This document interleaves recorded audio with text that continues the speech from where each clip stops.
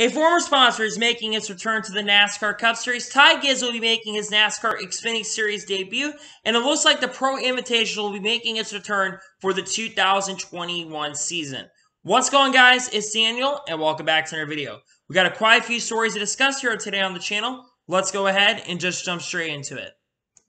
We're going to go ahead and start off with the sponsorship announcements. The first one we're going to take a look at is the Zane Smith sponsorship. He'll be sponsored by Michael Roberts Construction that will sponsor Zane Smith at this year's Daytona Truck Series opener. Looks kind of similar to last year's scheme that Zane Smith had for multiple races last year. I think the scheme looks really, really cool, and I think it'll be a good on the racetrack, especially since Zane Smith will probably be competing for the win at the end of the Truck Series race at Daytona since he is a pretty good Super Speedway racer. I do really like the scheme and not.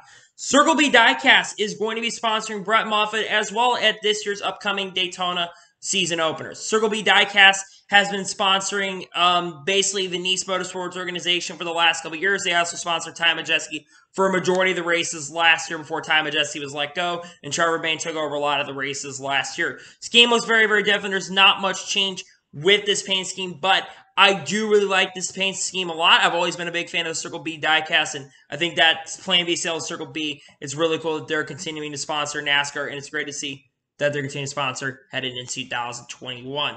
The next sponsor we're going to take a look at is Youtheory, as they're going to be sponsoring Corey LaJoie at this year's Daytona 500, and he'll be sponsoring at Phoenix as well. We already know that Corey LaJoie is going to be sponsored for seven races this year, which Toyota Systems, but we now know that he has two more races filled up for the year, the first race of the year and the fifth race of the year. Again, I also like the sponsor a lot. I think it looks really, really cool. And I can't wait to see sponsor on the racetrack in this year's Daytona 500, especially since Corey LaJoie is locked in to this year's Daytona 500.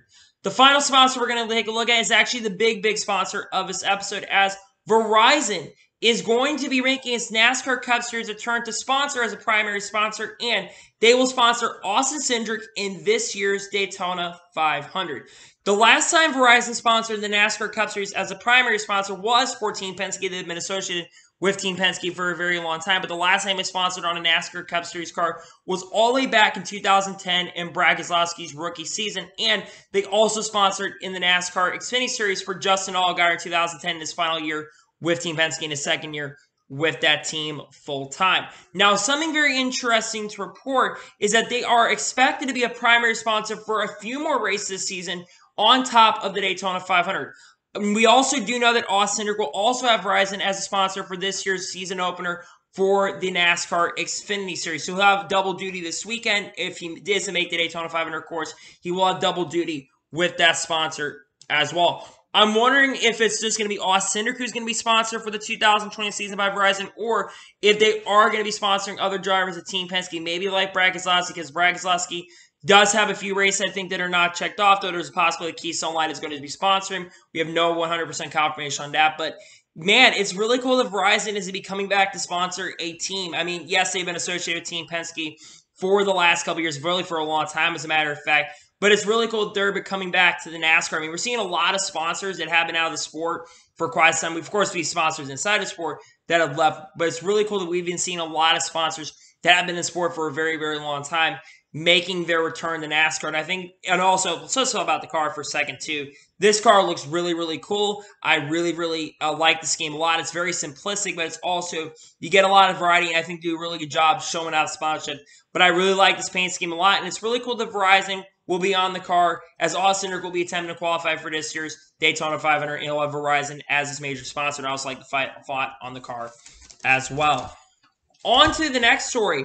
It is possible that Gray Gaulding might be headed full time to Jimmy Means Racing in 2021, driving the number 52 car full time for them in 2021.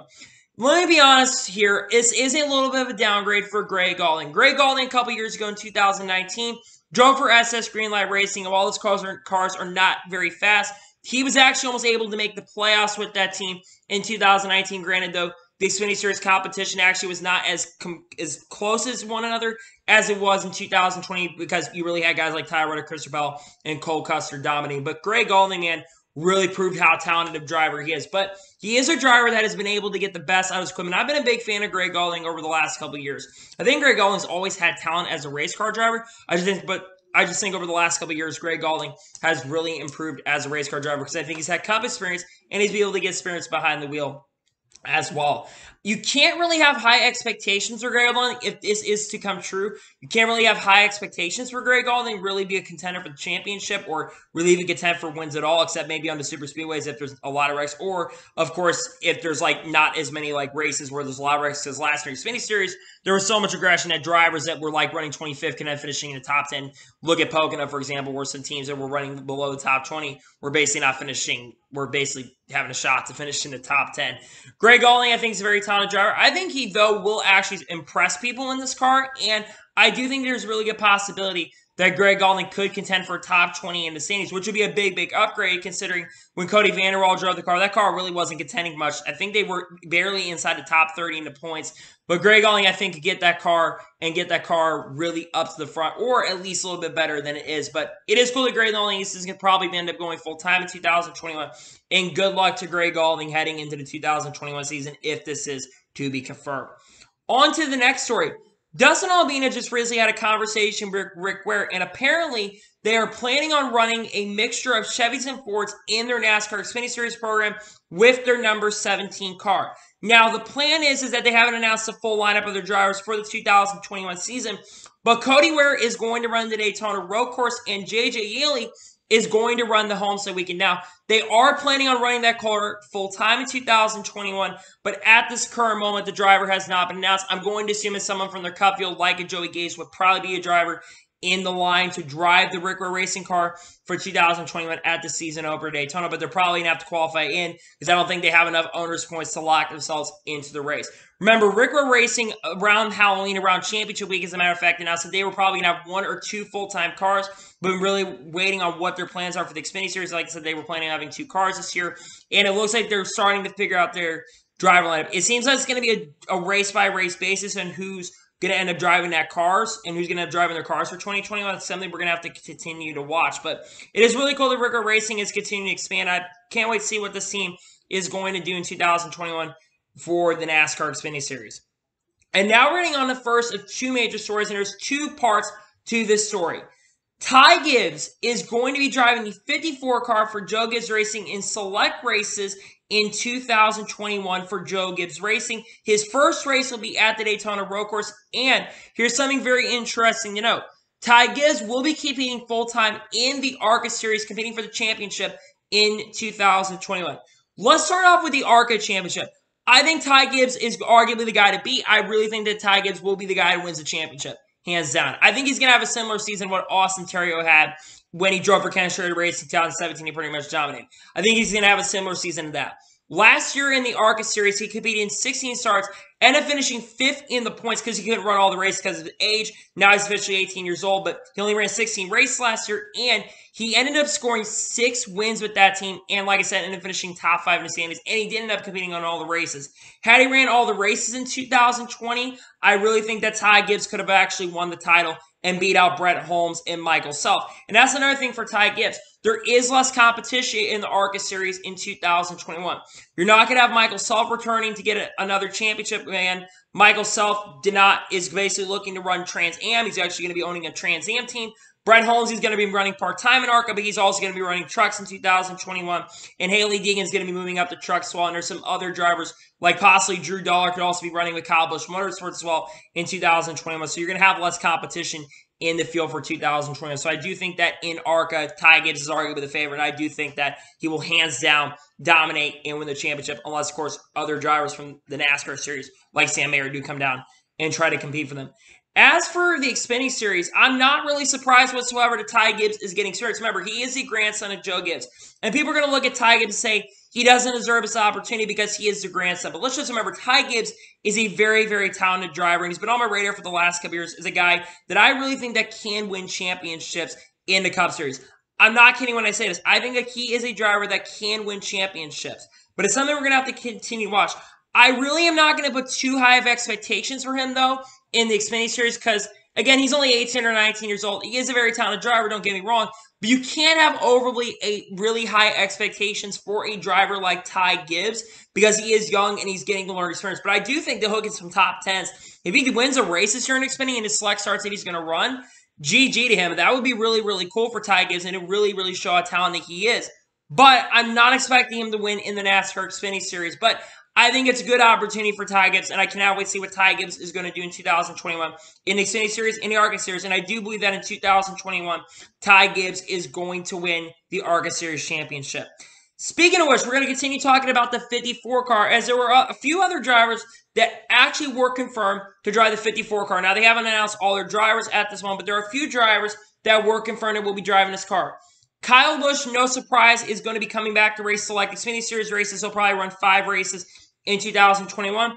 Denny Hamlin, I'm going to assume, is either going to run the first Darlington race or the second race. He's going to be re- returning to make some select starts in the Xfinity Series. And here's another one that really should surprise a lot of you. Martin Truex Jr. is going to be making his NASCAR Xfinity Series return in 2021. Den- uh, Martin Truex Jr., the last time he raced in the NASCAR Xfinity Series was all the way back in 2010. I believe the last start he was at Charlotte, ended up finishing second to Brad Keselowski at the Charlotte night race when it was a breast cancer race that they had. Well, race in awareness for breast cancer back in 2010. And Truex drove for Michael Waltrip Racing. That's how long it's been. And it was when Brad Keselowski was winning a championship in 2010 Xfinity. So it's been that long. It is really cool that Martin Truex Jr. is coming back and running select starts. Again, they haven't announced how many races these guys are going to run. I think Truex may run one or two starts, but it's really cool that Truex is making a few select starts uh, with Joe Gibbs Racing in 2021. Now, here's another thing that's really interesting is they haven't announced their full lineup. I think that there are more drivers that are going to drive this car. I think it's very possible that you're going to see uh, Bubba Wallace come down and race in Xfinity this year. I also would not be shocked if Chris Bell does make a few select starts in 2021. And I would also not be shocked if someone from the Truck Series, like a Chandler Smith or John or Nemechek, maybe comes up and runs this 54 car in 2021 since Kyle Busch Motorsports is associated with Joe Gibbs Racing. That's something you have to watch, but I think it's really awesome that Martin Truex Jr. is going to be coming back to NASCAR Xfinity Series. And good luck to all the drivers driving 54 car. Chris Gayle is also going to be the crew chief for this team in 2021. Good luck to all the drivers headed into 2021. And now we're getting on to the major, major story of this episode as the NASCAR Pro iRacing Invitational Series is going to be returning in 2021. Remember that little pro invitation that happened around, you know, back when we were in the middle of pandemic and NASCAR was shut down? That is coming back for 10 races in 2021. Five races will be shown on Fox Sports 1, and the other five will be shown on either NBCSN or USA Network. I do expect to be on USA Network because NBCSN is not shutting down until the end of the 2021 season. And here's the schedule for the NASCAR iRacing Pro Invitational. On March 24th, they'll be racing at the Bristol Dirt. April 21st at Talladega, May 5th at Darlington, May 19th at Circuit of the Americas, and June 2nd at a racetrack that is not announced at the time, though it could be a racetrack that we don't know about at this given time. There are some positives and negatives with this boot. People are getting their midweek races they can watch on Fox Sports 1 on Wednesday nights, and they're also going to be able to watch iRacing. You get a compromise. People wanted iRacing, but they also wanted midweek races. Some people did, but ratings were an issue, so NASCAR decided to compromise and they're going to give midweek races as well on iRacing, which I think that's at least a positive about this. But there are overall some a couple negatives that I truly have with the Pro Invitational. Here's one of the major problems you notice. Two of those races for Fox Sports 1 portion of the schedule are on races that are already going to have practice qualifying.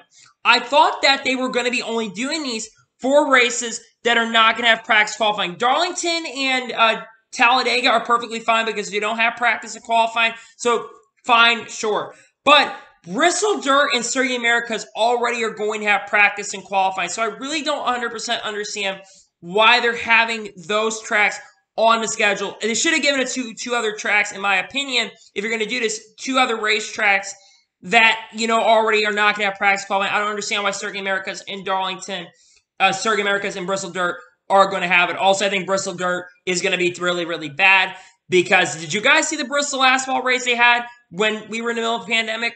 It was really, really awful. Also, another thing and another big problem is the ratings for this Pro Invitational are going to be awful. They, I think the Pro Invitational had about a 1 to 1.5 million average viewers for this. I would not be surprised if there's not even 500,000 people that do watch this event. And this because this is taking place on a Wednesday evening, and it's in the middle of the week. And you're going to have a lot of people that are going to be working or have school nights, you know, and they're not going to want to stay up and watch it and they're going to want to watch other things. Yes, of course, you're getting your fix of racing. People are going to watch it regardless. But I'll be honest with you, people would rather have regular practice qualifying every week. And I know I was one of those fans that really is not as big a fan of the Pro Invitational. And I'll be kind of honest with you here. I'm really not going to watch the Pro Invitational this time around compared to last time. The difference between this time around is that there were no sports going around at this particular time when this event was going on. You didn't have football on. You didn't have basketball on at the time when the Pro Invitational happened last year. This time around, you're going to have all the sports happening at the same time. And I think that's what is overall going to kill the ratings. But I mean, it's cool that they're bringing this back and it's fun. Another thing I really wish it would, and this would actually probably help the ratings, instead of having the tracks where the cup guys go, why not go to racetracks that are not completely on a schedule? Maybe they're going to go somewhere that we don't know yet. Why not switch it up and spice it up and actually make it intriguing? Because I'll be honest with you, if there was it wasn't these racetracks that were already on the Cup Series schedule, I'd actually probably watch. Now I don't know if it's because of contract rules or not, but to me, they should have tracks like North Wilkesboro, Circuit Gilles Villeneuve, uh, Five Flag Speedway, other racetracks, maybe like Knoxville for the Cup Series. I know the Truck Series runs in Knoxville. Why not Knoxville for the Cup Series? I think that would make it more intriguing because, in all honesty, I think it should be all different tracks. Because people, honestly, they know that these races are coming up in the same week, especially for some races that are going to practice qualifying. Just don't understand why a couple of these races, and again, NBC has not announced their portion at the moment. I just don't understand whatsoever why they're running at the Bristol and Circuit of the Americas when they're already going to have practice qualifying. That just is something I really do not understand, in my honest opinion. So, anyway, that is going to be for the today's NASCAR news video. I want to thank you guys for watching. Please like, subscribe to the channel, turn notifications so you get notified when a video does go live on my channel. Follow me on Twitter, Facebook, Instagram, and support me on Patreon as well. Links in the description below for that. Sorry, guys, for not having a video earlier today. Or, you guys, sorry, did not have a video yesterday. I was at a funeral yesterday, so I did not upload a video, and I was really not in the mood to upload a video. That's why there's a video going out today. If you enjoyed today's video, make sure you like so YouTube can recommend more of these great videos out to you guys. If you do that, I would greatly appreciate it. Again, follow me on Twitter, Facebook, Instagram, and support me on Patreon. Links in the description below for that. Anyway, guys, like I said, I want to thank you guys for watching today's video, and I'll see you guys next time. Take care, everybody.